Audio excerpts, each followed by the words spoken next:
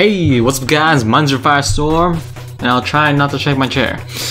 This time, we're gonna be talking about Final Gambit from Pokemon. And yes, I did make the thumbnail, and that is gonna be the thumbnail for this video. Yeah, so you may have noticed I've changed a few of my thumbnails on my previous tutorials. However, some of them are gonna need a little, uh, a little my personal screenshots. So I have to screenshot some of them myself even if even if those tutorials precede what I'm gonna be taking screenshots of in terms of date. Because my first tutorial was on some You know what, never mind.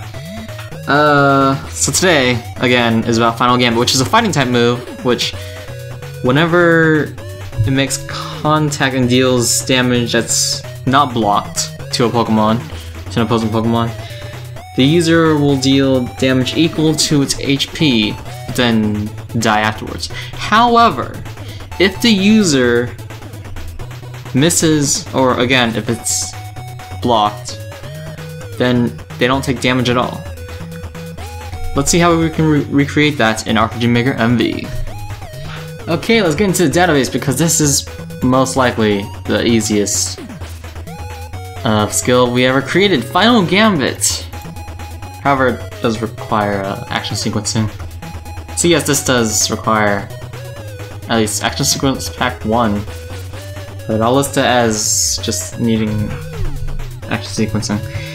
And the description says deals damage equal to user's current HP. The attack deals greater than zero damage. The user loses all their HP, otherwise nothing happens. So the main thing you want to do here is, well, this is a physical attack, I guess. I said this success 50%, but that's just so it's easier for me to demonstrate what happens if it misses or not. Uh, in the actual Pokemon game, it is straight up 100%. HP damage will be equal to the user's HP because this will be applied before uh, the specific uh, damages will be applied. Now, you don't have to do this part. I highly recommend you don't do this part, actually. But uh, this utilizes skill core, the custom cost display just says all HP.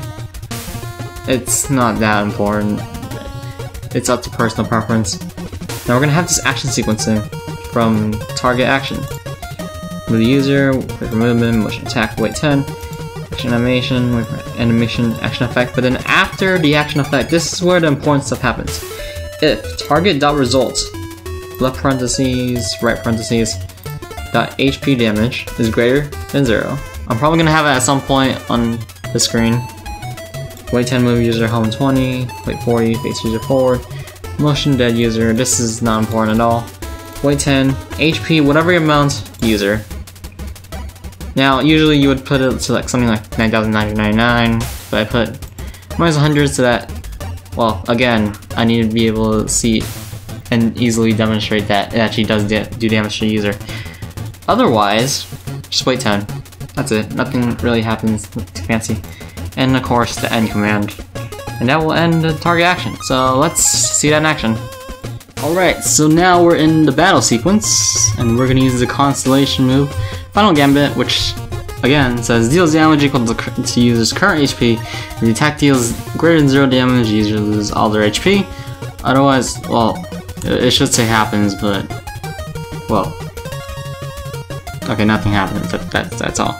Uh, displayed costs all HP, but again, that's just... That's just, how do you say it? It's, it's to cover up the fact... You know, never mind. We're gonna use Final Gambit on this level 1 slime right here, and Harold's gonna skip his turn. So we did 500 damage, which was equal to our current HP. And uh, as you can see there, Runefire has 100 less HP and in our action sequencing we said to reduce by 100. Uh, hopefully we can miss one of these. Yes, okay. So we missed, and as you can see on the bottom there, we did not lose any HP, so I'd say it worked. Well, you guys have to try yourself, but yeah, that that's pretty much it. As of this point, I have not recorded the part where I show you what Final Gambit I can actually do. But uh, thank you guys so much for watching. Uh, that was my tutorial on Final Gambit from Pokemon. Now, the next tutorial is gonna be a special one because there's also potentially, if my planning goes well, gonna be a next tutorial right after it. That's because the next tutorial is gonna come on Halloween.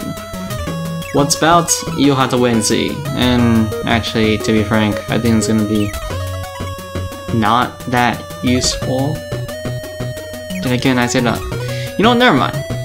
So yeah, thank you guys so much for watching. See you guys, and stay safe.